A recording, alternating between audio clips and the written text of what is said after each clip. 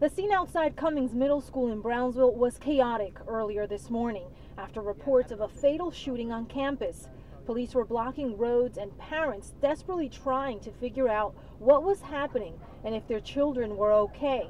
But inside the classroom, many students tell us their experienced teachers helped to keep them calm and safe. My teacher turned off the lights, locked the door, and everybody got to the corner. Rudy Sandoval, a sixth grader, says she was nervous. Thanks to her teachers, she didn't feel she was in danger. Parents said although it was a long wait to see her child after the shooting, she feels teachers did their job. She feels teachers did their job to keep the students safe. I believe so. I believe so. They seem to be well organized.